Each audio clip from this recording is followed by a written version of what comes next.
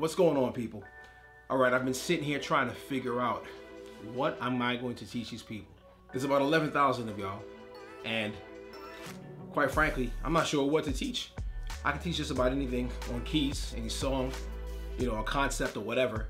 The problem is, I don't know which direction to go. You're subscribed because you saw some value in this, and I thank you for that. The only thing is, I want to be able to keep your subscription, and I want to be able to bring something of value to you.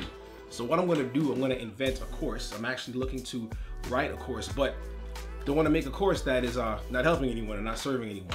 What I'd like to do is have you guys input in the comment section what you guys want to learn, what you would prefer to have taught to you, and what you want me to teach. I don't care if it agrees or disagrees with what someone else put, what you as a subscriber, what you want to learn, what may be out there, may not be out there, or just maybe just bad that's out there that I can actually help to bring some light.